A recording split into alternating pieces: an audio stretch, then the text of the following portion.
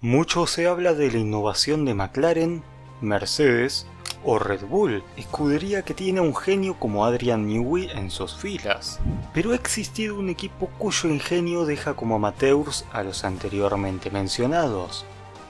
De hecho, me animo a afirmar que sin ellos, la Fórmula 1 no sería lo que hoy en día conocemos.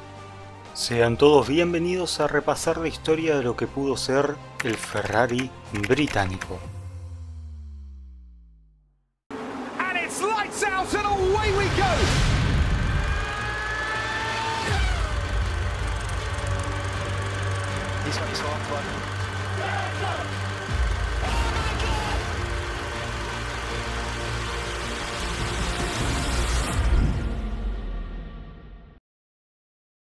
Para comprender la historia de este equipo debemos remontarnos hasta 1952, año en el que el ingeniero británico Colin Chapman creó Lotus Engineering, compañía que hoy conocemos como Lotus Cars.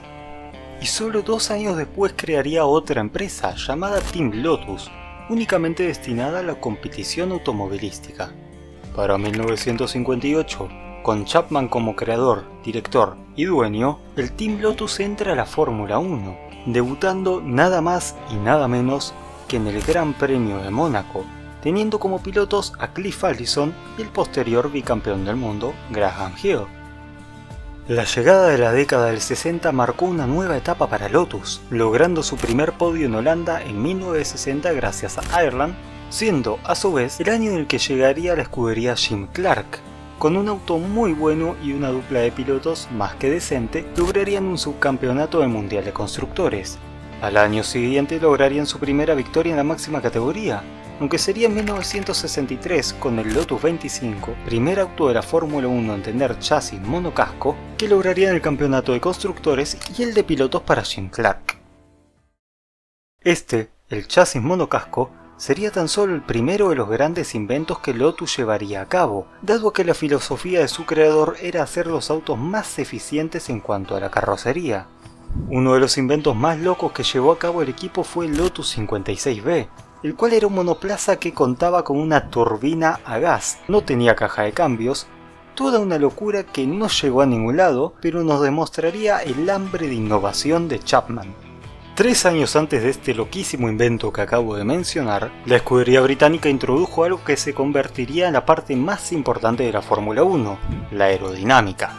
En el Gran Premio de Mónaco de 1968 sería la primera vez que se verían autos con alerones en una pista de Fórmula 1, si bien, como se puede ver en imágenes, eran muy distintos a los actuales, al poco tiempo evolucionaron a unos alerones que no son tan distintos a los que hoy en día tenemos.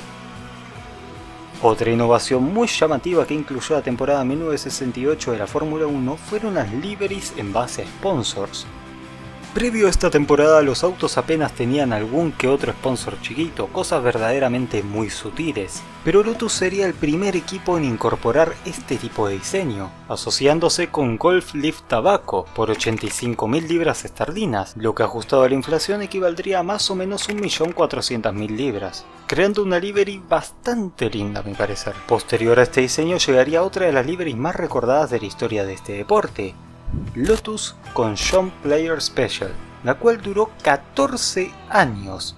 Muchos la recordarán por ser la que Lotus usó cuando creó el efecto suelo, pero ya tengo un video al respecto. Volviendo a la livery, creo que no hace falta que diga nada, este diseño era simplemente hermoso. En los años 70 Lotus no solo tenía éxito en la Fórmula 1, sino que Chapman llevaría su conocimiento del mundo de la competición a Lotus Cars, compitiendo cabeza a cabeza con los fabricantes más importantes en todo aspecto, incluso como dato curioso, apareciendo en películas, como La espía que me amó en 1977 con su Lotus Spirit.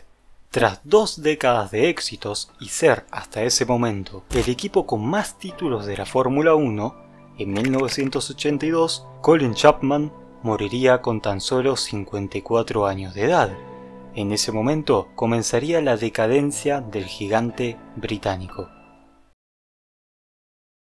Años después el equipo tendría algunos destellos de grandeza.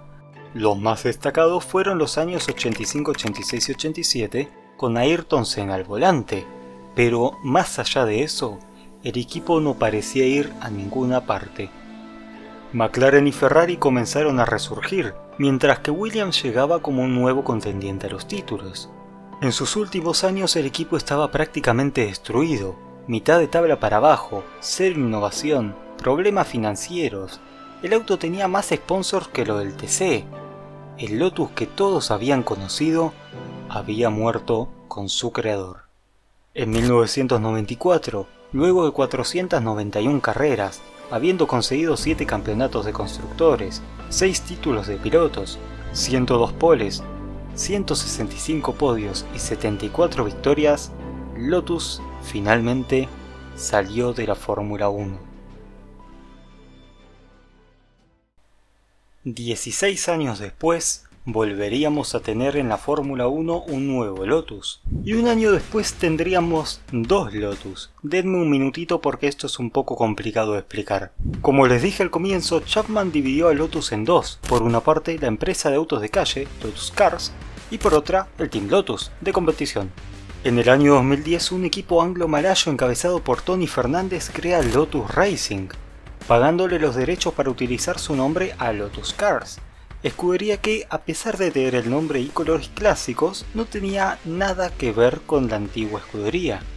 Hubo muchos líos legales en los cuales no me voy a meter porque no los tengo claros, pero la cuestión es que al finalizar el año 2010, terminaría el contrato entre Lotus Cars y el equipo recientemente creado Lotus Racing, por lo cual este equipo le compraría los derechos del Team Lotus original a David Hunt, hermano del histórico James Hunt, el cual había comprado a su vez los derechos a la empresa británica. Por lo tanto, ahora el equipo pasaría a llamarse Team Lotus, al igual que la escudería histórica. Al mismo tiempo, Lotus Cars compró parte del equipo Renault de Fórmula 1, creando el que fue el más exitoso de los dos, Lotus Renault F1 Team, dejando de esta manera dos equipos con prácticamente el mismo nombre en la categoría, pero que a su vez ninguno de los dos era en realidad el antiguo Lotus. Para la temporada 2012 Tony Fernández dejó de utilizar el nombre de la marca inglesa, renombrando su equipo como Caterham. De esta manera, ahora sí tendríamos solamente un Lotus en la competición, el cual estaría todavía más alejado del equipo original, pero por lo menos lograría dos victorias gracias al desempeño de Kimi Raikkonen. Esto sería una navaja de doble filo para Lotus F1 Team, dado que el increíble rendimiento del último campeón de Ferrari casi los deja en bancarrota. Con el objetivo de traer al finés de nuevo para la competencia, Lotus le ofreció a Kimi la suma de 50.000 euros por cada punto marcado con su equipo. Pero lo que no esperaban es que Kimi hiciese 390 puntos en dos temporadas, dando un total de 19 millones y medio de euros más el sueldo. A partir de 2014 Kimi se iría a Ferrari, por lo que Lotus continuaría hasta 2015 con monoplazas mediocres y pilotos que no ayudaban, por lo que en 2016 ya no estarían en la Fórmula 1, dejando la categoría de una manera muy parecida a la de su predecesor. Hasta acá llegamos por el video de hoy, espero que les haya gustado y sin nada más que decir, nos vemos en el siguiente, hasta luego.